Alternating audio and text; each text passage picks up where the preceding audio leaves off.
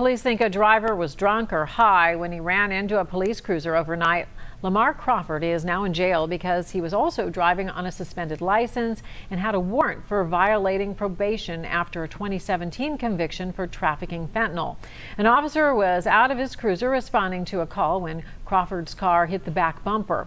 This was just after midnight on Reading Road in Bond Hill. No one was seriously hurt.